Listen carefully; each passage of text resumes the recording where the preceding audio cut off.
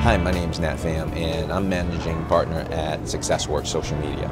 I got exposed to James River Transportation through Stephen Story and Craig Trainer, and I'm so glad I did.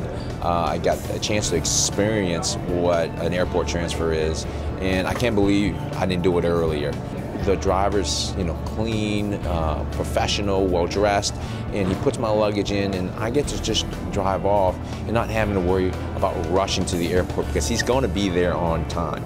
Uh, and he takes the shortest route. He has GPS, and that was just so nice to know that they're going to go the fastest route. Because a lot of times when you go to other places, you know you're not you're not sure if you're going the fastest route or not.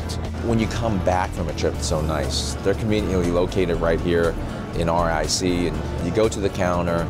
Um, they help you with your luggage, and then uh, take you uh, to the car and drive you home. And uh, you know, when you just got back from a long six, seven hour flight, it's so nice to know that you don't have to search around for 15 minutes and find your car and then actually concentrate to drive. You can just sit back and relax and they'll drive you home in a safe manner. I was driving a, um, a Flex, which uh, was a clean car, very roomy car, very nice and tremendous car. I almost thought about getting one. Plenty of leg room and be able to stretch out.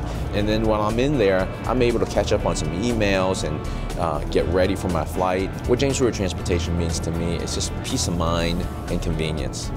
Maybe with uh, a wife and three kids, uh, it gets a little bit tricky to, you know, try to pick folks up. My wife just came back from a trip, you know, at 11:30 at night, and actually she didn't. Uh, her flight got delayed. It didn't come until one o'clock, and I couldn't imagine having my kids wait at the airport on a school night, waiting for my wife, and that that's just speaks volume uh, for James River Transportation.